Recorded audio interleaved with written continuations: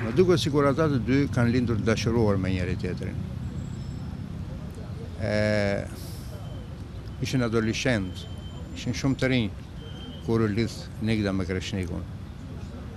Dhe dashuria vazhdoi gjatë sepse e deshin njëri tjetrin, ashtu siç vazhdojnë ta duan edhe sot.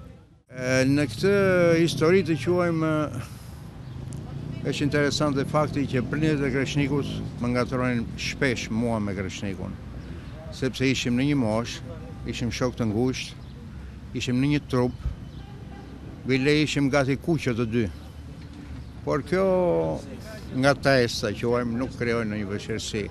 Është e vërtetë që Nikda banonte në bllok, ku nuk mund të hyje për të dalë, ajo personalisht s'e kishte të vështirë, por prandaj kishte kjo dashuri siç thashë edhe vështirësi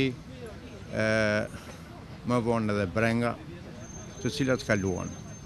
Më mirë le të rrimë me gjërat e bukura se sa të kujtojmë të vështirat.